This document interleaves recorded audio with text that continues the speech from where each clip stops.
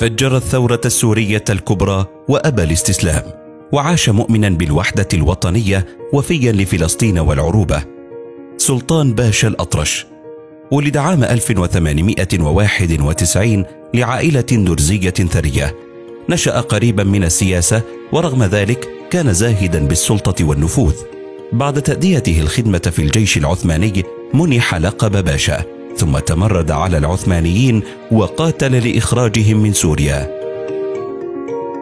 ومع سقوط البلاد بيد الفرنسيين تقدم صفوف المقاومة فحاول الاحتلال إغواءه وعرض عليه رئاسة دولة للدروز في السويداء لكنه أبى تسويات التجزئة. وفي يونيو عام 1925 كان الحدث الفصل.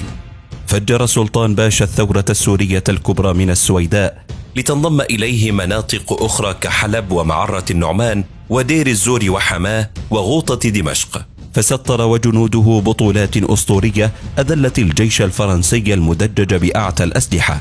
كان أعظمها في معركة المزرعة الشهيرة بعدما قتل أربعمائة ثائر ثلاثة عشر ألف جندي.